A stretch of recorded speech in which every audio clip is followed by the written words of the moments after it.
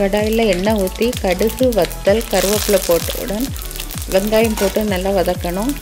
அது வதங்கும் போதே பூண்டு ஆட் பண்ணணும்.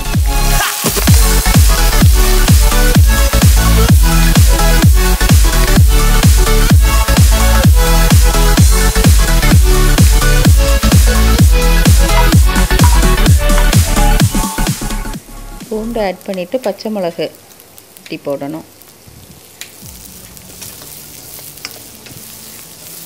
தக்காளி சேர்க்கணும். அது லைட்டாக வதங்கினவுடன் பாவக்காய் ஆட் பண்ணணும்.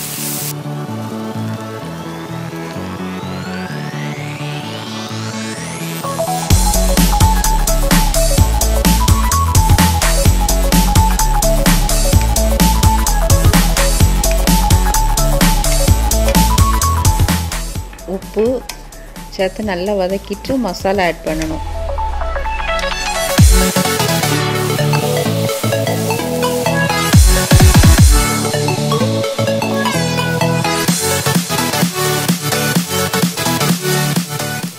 மசாலா ஆட் பண்ணி நல்லா எல்லாம் பாவக்காயோட சேர்ந்து வெந்தவுடன் அதை இறக்கணும்.